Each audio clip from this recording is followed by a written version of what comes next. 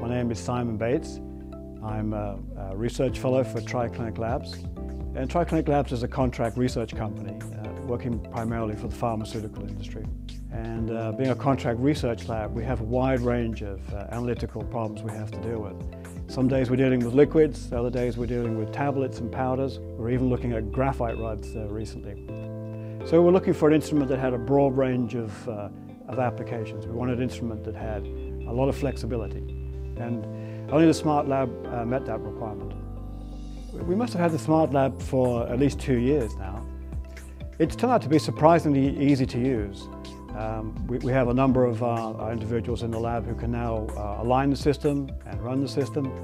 And as of today, it's running pretty much uh, 24 hours. The cool thing about the Rigaku Smart Lab that uh, has really helped us a lot in our work is the flexibility of changing between different optical configurations. With any given week, we'll probably change the X-ray optics maybe three or four times. Uh, for the liquids, we can easily work in different transmission geometries. For the solid materials, we can go to, to parallel beam. And of course, for routine powders, we can use Bragg-Brentano reflection geometry.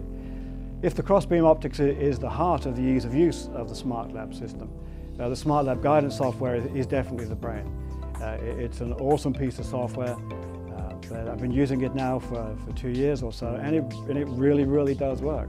Within days, it, most of our general users in the lab can, can easily and with confidence change the optics, align the system, and it's the combination of the cross-beam optics along with the Smart Lab guidance that allows that to happen. It's remarkably robust.